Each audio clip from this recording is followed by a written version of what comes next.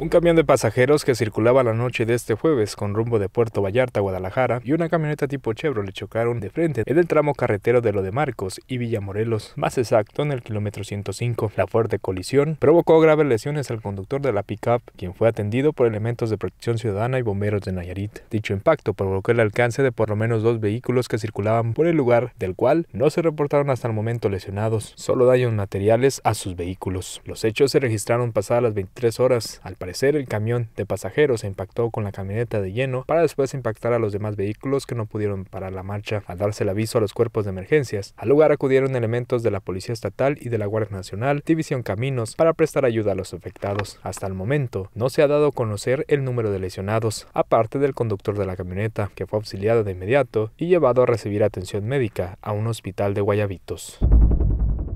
Para CPS Noticias, Israel Torres.